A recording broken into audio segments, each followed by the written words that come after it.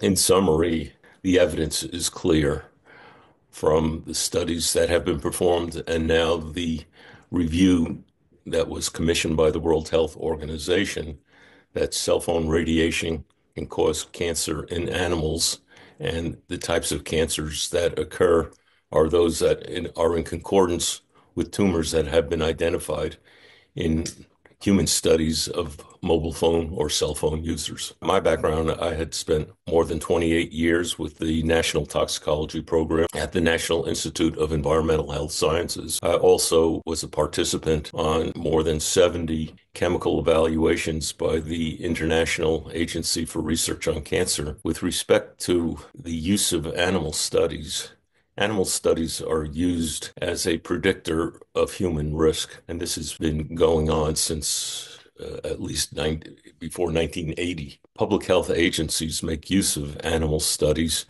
to estimate the risk to humans and set exposure limits that would be protective of human health.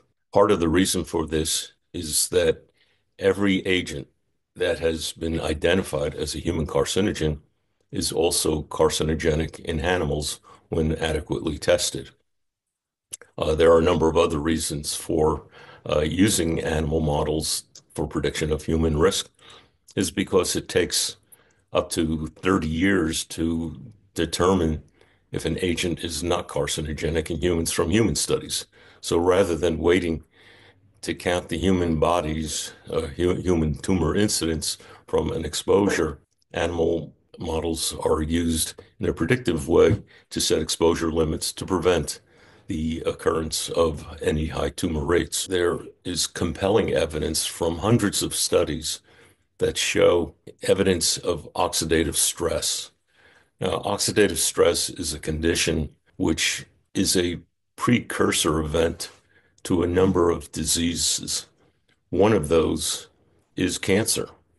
Oxidative stress can lead to DNA damage, and DNA damage is an early event in the cancer process. So, with the numerous studies that have shown evidence of oxidative stress, there is a very likely mechanism involved in which oxidative stress leads to DNA damage. From DNA damage, altered cell populations developed that have different growth characteristics than normal cells and eventually lead to a tumor.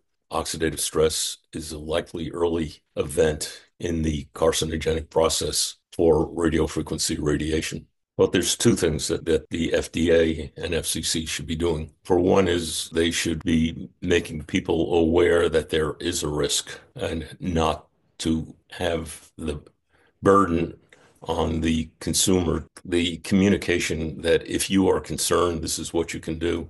That's not appropriate. It's appropriate for the agencies to say, there is a risk, this is what you should do. There are a number of things that people should do. One is minimize the amount of time you spent on a cell phone. Use speaker phone if you have to. If there is a weak signal, it is best to not use a cell phone because your phone is working harder to keep up a communication with the cell tower.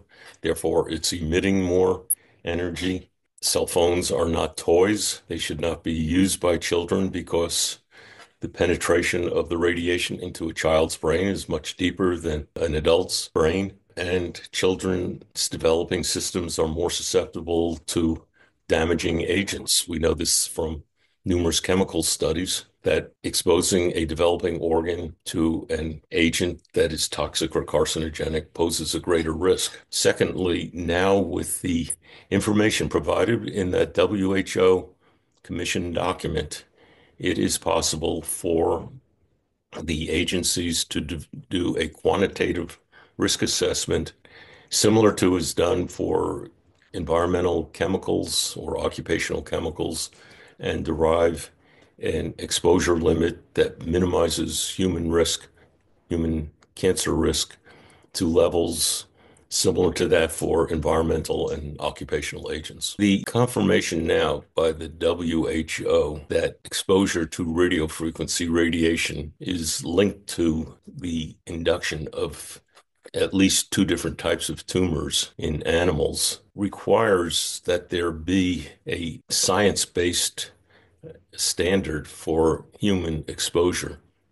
The exposure limits to radio frequency radiation. These are the emissions that come from cell phones or other wireless devices. Those limits are based on studies conducted in the 1980s, and the limits have been set on a threshold for a heating effect. They're not based on any strong scientific uh, evidence. Now, with the WHO commissioned report that endorses the animal carcinogenicity, it's time to develop a science based uh, exposure limit and move away from the assumption that the only effect occurs by heating because we are so well aware of numerous studies that are showing adverse effects below this heating threshold limit. And it is important that health protection be based on science, not on assumptions,